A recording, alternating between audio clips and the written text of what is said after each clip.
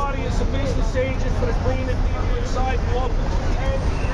I just want to inform everybody that their employee has made a threat. And he's going to do something if we pull him out of the building. We decided to pull him out of the building anyway.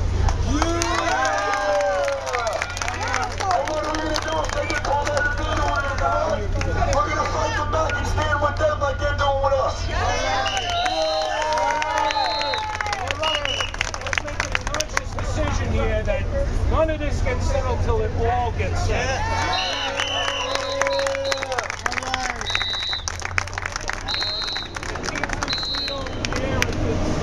Somebody